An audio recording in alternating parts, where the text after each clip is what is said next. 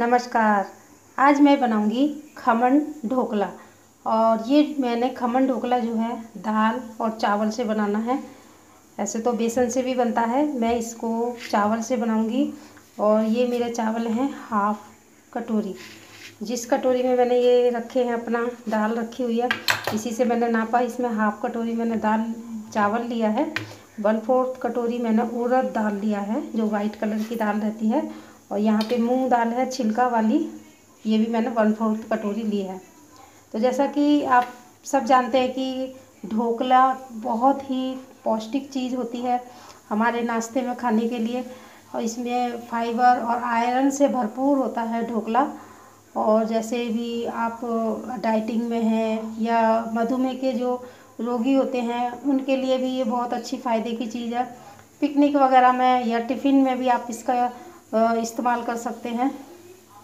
तो बहुत आसानी से बनता है। तो इसी, बनाते हैं इसको। तो पहले मैं इसको चावल और इसमें हमारी दाल और उड़द, मूंग दाल। पहले हमने उड़द दाल डाली और मूंग दाल। अब इनको हम जो है मिक्स करके अच्छे से हमने इसको साफ़ किया हुआ है और फिर हम इसको अभी पानी में 10 से 12 घंटे के लिए भिगोएँगे। इसे हम पहले दो दो पानी, दो बार या तीन बार पानी में अच्छे से धो देंगे। फिर इसमें पानी और डाल करके इसे दो दस से बारह घंटे के लिए इसे पानी में भिगोएँगे। अभी देखिए, हमारी दाल, चावल, ढोकले के लिए जो हमने भिगोई थी, दस से बारह घंटे। हमने अभी इसका पानी निकाल चुके हैं सारा। अब हम इसे मिक्सी में पीसेंगे।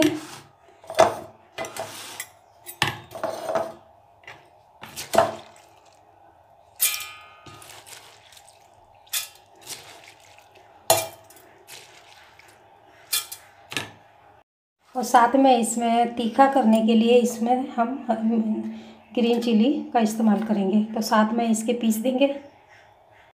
अब देखिए हमने इसको इतना ऐसे गाढ़ा गोल इसका बना के तैयार करना है। अब इसमें हम डालेंगे इस जो इसको कलर, इसका येलो कलर हो जाए।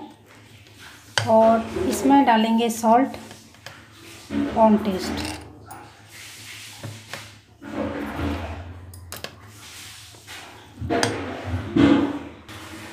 अभी हम इसको जो बनाएँगे डोए ये मेरा डोसा सांचा है और ये मेरा जो इडली का, बर्तन है, उसी में इसको मैं रख के भाप दूँगी, इसको बनाऊँगी। आप अगर पास ही आपके पास अवेलेबल नहीं है तो आप कुकर में एक गिलास पानी लें, उसमें एक जाली रखें और जो जाली जो है आपका पानी को टच करें और फिर आप एक एक बाउल में जो कुकर के अंदर आ जाए बाउल, उसमें तेल लगा करके और उसमें बैटर को डाल करके और आप इसको 10 से 15 मिनट के लिए स्टीम कर सकते हैं। अभी हम इसमें डालेंगे इनो। और इसको मिक्स कर लेंगे अच्छे से। और आप देख लेंगे कि अगर जितना भी आपका बैटर है, उस हिसाब से आपका इनो डालने से इसमें जैसे ये ऊपर फूलने लगा है, अगर ये नहीं फूलता तो आप एक पाउच और डाल सकते हैं। और ये अच्छे से मिक्स करेंगे हम। बस इसको हमने ज़्यादा फेंटना नहीं है, बस अब इनो डालने के बाद मिक्स करके अच्छे से। अब ये मेरा सांचा। अब मैं इसमें बैटर डालूँगी। तो बैटर मेरे को इतना डालना है कि आप ज़्यादा ऊपर तक नहीं भरना हमने इसको।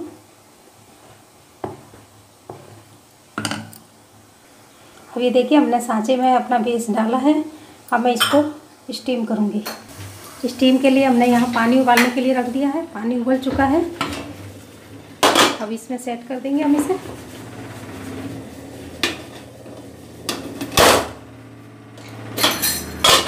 तो इसे पकने देंगे। हमने फुल फ्लेम करके इसको 10 से 15 मिनट पकाना है। जब तक हमारा ढोकला बनेगा और हम इसके लिए तड़का तैयार करेंगे, यहाँ पे हम मस्टर्ड ऑयल ले रहे हैं। वन टेबल स्पून तेल गरम हो चुका है, इसमें हम थोड़ी सी हींग डालेंगे। हमने एक हींग डाला इसमें। और सब मस्टर्ड सीड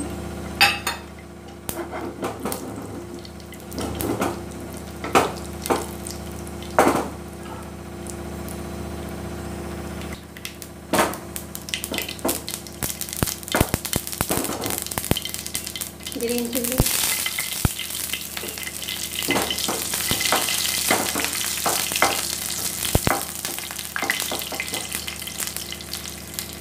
और साथ में हमारा करी पत्ता, जो हमने ड्राई करके रखे हैं।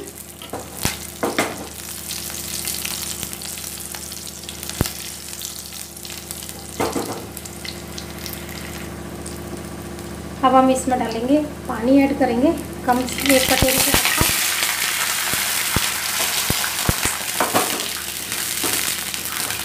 और इसमें डालेंगे शुगर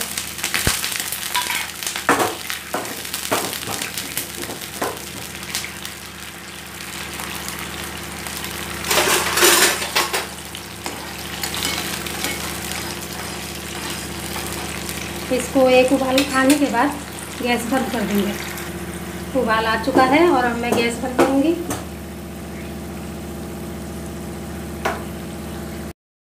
अब देखते हैं हमारा ढोकला। 12 मिनट हो चुके हैं। और ये देखिए, और वो पूरा हमारा चाकू जो है सूखा निकल रहा है। गैस बंद कर देंगे अभी हम।